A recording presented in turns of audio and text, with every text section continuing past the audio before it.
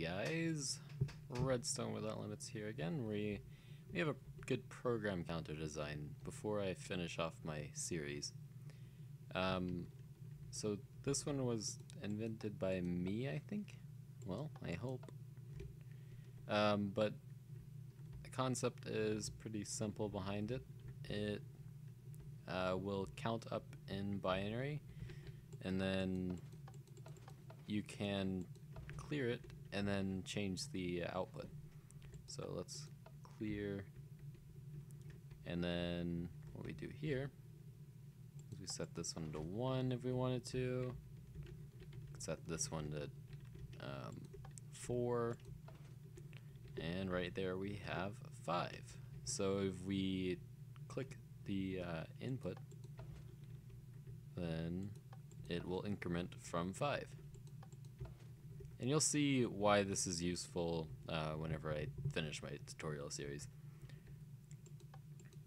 So if we clear it, and then it clears. Um, so I'm going to show you how to build this. I'm going to show you how to build uh, one cell, and then I will leave it to you to figure out how many you want. Okay? So let's get started. Um, so the first thing you're going to need is a redstone block and sticky pistons. So let me get a redstone block and then we will get started. So uh, what you do is you place two pistons facing each other and then one of them is going to have uh, the piston offset like so. So you build this sort of structure here and then um, I'll show you what to do from there. So the next thing you're going to need outside is a comparator, and it's going to be on subtraction mode. If you remember from my tutorial series uh, on comparators, if they have a side, or if they have an input from the side that is greater uh, than the input coming in, then they won't put out a signal. That. We're going to test if this works.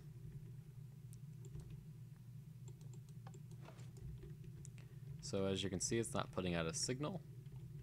But if, as soon as we enable that, then it will put out a signal.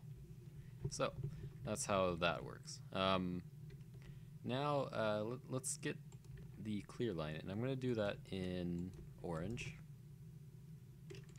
So that's going to go something like this. Now, depending on how you make yours, um, will depend on how this works. So, then we're going to have this go over here. Like that. Um, and I think that's most of what there is for the, the clear line um, for, for now. So now you place a comparator going that way and then going into a block and a redstone on top of that. So we're gonna um, do this. So this also has to be on subtraction mode, just remember that. Um, okay, so let me get a repeater. Okay, so if we look over here, we have the branch line which goes into here. So uh, what we do here is I'm gonna make this in purple.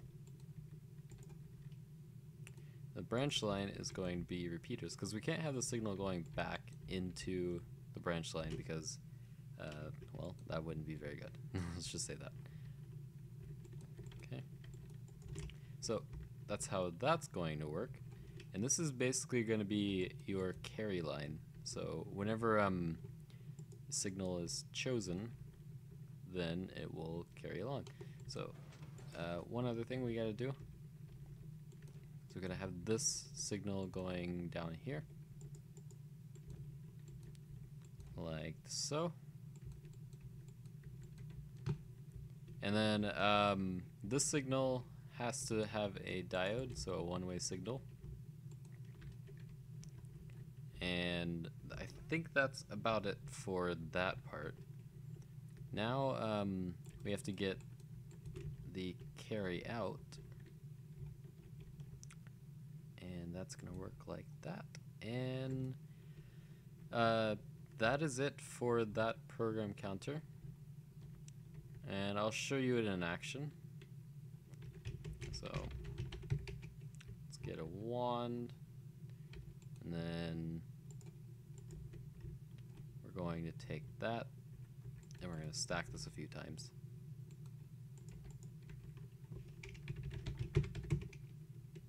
Three.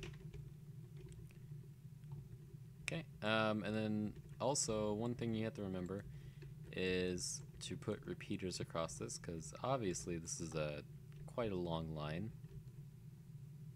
So we're gonna put a repeater here.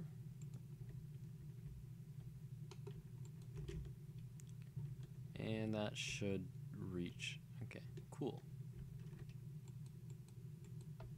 Now whenever you first make this, you're gonna have to um, click this a few times to get it working. Maybe not.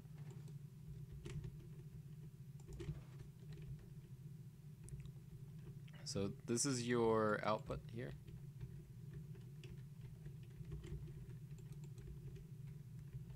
Like that. Okay. Um, I'll just show you. That carries.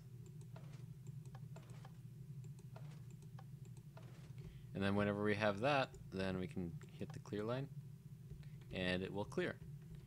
Also, we can do branching if you like. This is a, you know, it's a pretty fast system. Uh, I like it because it uses pistons, so there's some instant logic involved. Uh, but yeah, we're gonna clear, and then this will be the end of this video. If you like this video, then go ahead and um, hit that like button. Uh, if you want to see more, I make videos like this uh, every day, so uh, you can see all my content. Uh, but I'll see you in the next episode. Bye.